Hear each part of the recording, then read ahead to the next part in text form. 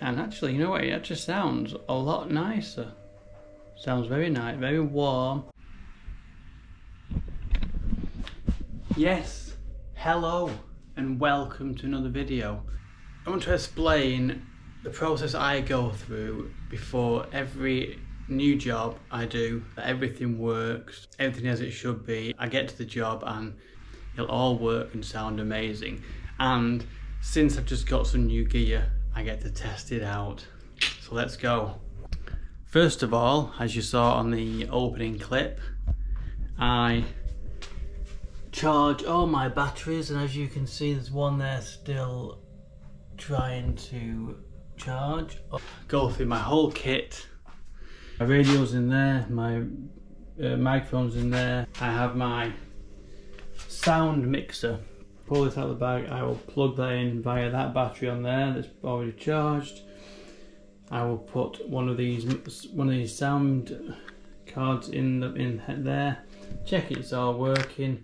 I won't name any tracks as of yet because I don't know what the, the participants are called. The the guy who's editing it is the um, videographer, DOP, director of it all, so he'll know who came first, so he'll know what, sound, uh, what track take it is that I've done. So I don't need to name them, I'll just name them as Radio 1, Radio 2, 3, 4, whatever, but hopefully I'll be using two radios and one boom, but I will test all four radios and both booms because if one doesn't work, I need to make sure the other one works. Show you it works. Yes. A few moments later. I've changed that from, as you can see, it used to be 200 and something from my last shoot. Changed it to scene one and then take one. Mix is there, mix there, and then radio, the boom, I've changed the boom to this boom, but I've listed it on me on my um, the file storage as MKH50 because I'm going to test out my new MKH50 Sennheiser microphone as opposed to my 416 that I normally use. And then I've deleted a load of um, inputs from radio 1 to 4, which are in channel 2 to 5. And then I've got a spare. Get them out of my box over there with the lavaliers, as you can see.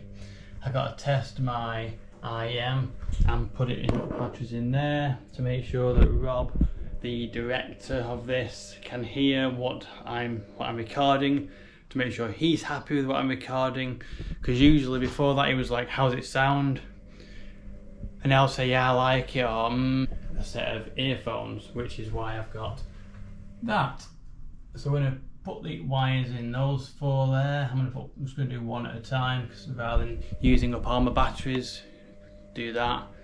Um, I'm going to test out, plug in that, that microphone, that microphone, which my MKH50 is there, my 416 is there, just to make sure that I'm getting signal. And once I've got a signal, I'm happy. I will test all the lavaliers in the one radio to make sure the lavaliers work, and then we're happy. So I'll talk, get back to you when I've done that. A few moments later. So, as you can see, I'm talking into this boom and the boom, the there is power there. So I know now that this um, microphone actually is working very, very well, which I'm happy about. Um, I'm going to do another video to do a comparison between this this microphone and that microphone unplug this and plug that one back in and we'll see how it sounds. So this is the MKH50 and actually you know what it just sounds a lot nicer. Sounds very nice, very warm, very off. You can see how it's uh, very off. It sounds very warm. This I'm definitely using this um, tomorrow. Grabbing quite some lovely sound, and as you can see, it does work still. That's my 50. I've listed it as a 4 and 6, I mean as a 50 for tomorrow. Now as you can see, I am talking into my radio 1 like this, talking into my radio 1 which is a COS 11 um, and it's actually coming up really nice on there. I've still got my 50 MKH50 plugged in because I thought why not? I'll have to reduce the, the sensitivity per interviewee. It all depends, you have to change it because I don't know how they sound, so I'll change it as and when on the day. It'll take two minutes to change it. Um, probably use that mic, that probably use that IEM when I'm doing it to make sure it sounds good. So as I said before, I'm trying the IEM. This IEM is working. As you can see, the frequency there is going through the signal. Um, this is radio 2 and you can see radio 2 there is moving. So I know so I know now as well the second radio works perfectly well with the COS 11. Very happy with this. Now I'm going to flick over to the radio 3 and 4. You don't need to see that what what the scenario is and everything like that. A few moments later.